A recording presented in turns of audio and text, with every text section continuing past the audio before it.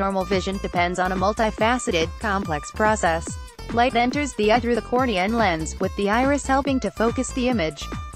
The light is projected onto the back wall of the eye, where it is perceived by millions of tiny nerve endings that make up the retina. From here, the retina translates the images into nerve impulses that are transmitted to the brain through the optic nerve. When any of these eye parts are damaged, either through illness or injury, blindness can occur. The lens may cloud, obscuring the light entering the eye. The eye's shape can change, altering the image projected onto the retina.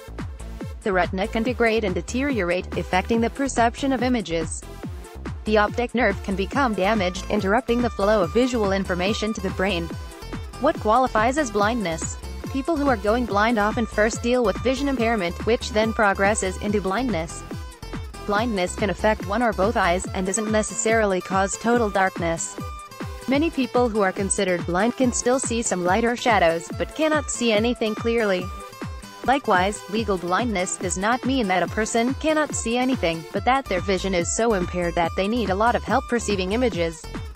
The United States typically defines someone as legally blind when the person's central vision has degraded to 22 hundredths, or the person has lost peripheral vision so that he sees less than 20 degrees outside of central vision.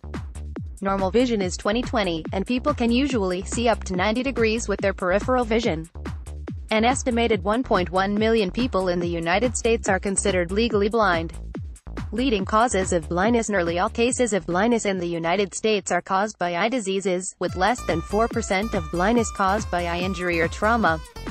About 77% of people who have eye injuries fully recover, while another 11% have mild impairment. Though the following eye diseases are common causes of blindness, you should not assume you are going blind if you have any of these conditions. There are treatments available for each condition, some more treatable than others. Cataracts Cataracts occur when the normally crystal clear lens of the eye becomes cloudy. This causes blurry vision, faded colors, and problems seeing through glare. Cataracts are the world's number one blindness cause, and more than 22 million Americans have cataracts in one or both eyes.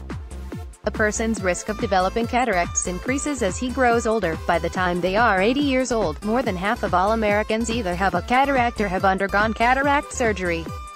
People with cataracts can deal with the disease at first, through the use of special glasses, magnifying lenses, and brighter lighting. Those with advanced cataracts can undergo surgery to replace the clouded natural lens with an artificial one. Glaucoma Glaucoma usually occurs when the fluid pressure inside one or both eyes slowly begins to increase. This pressure damages the optic nerve in the retina, causing a gradual decrease in peripheral vision. Experts estimate that about 2.3 million people in the United States have been diagnosed with glaucoma, while another 2 million have glaucoma but are not aware of their deteriorating eyesight. Vision loss due to glaucoma cannot be reversed, but the disease can be managed through the use of prescription eye drops or surgery. It is important to have regular eye exams so you can catch glaucoma early, because treatment can save your vision.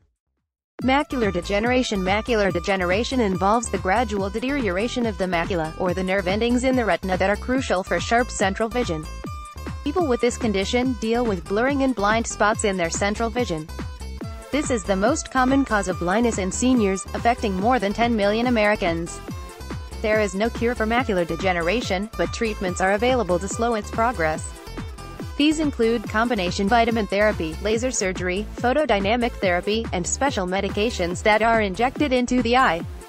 Diabetic retinopathy Diabetic retinopathy occurs when the systemic damage caused by diabetes begins to affect the retina. Specifically, the blood vessels that nourish the retina can be negatively affected by diabetes, causing vision loss through bleeding and damage to the retina. More than half of the 18 million Americans who have diabetes are affected by diabetic retinopathy to some extent. The best treatment for diabetic retinopathy is close control of diabetes. If the disease becomes more advanced, patients can undergo eye surgery to protect their sight.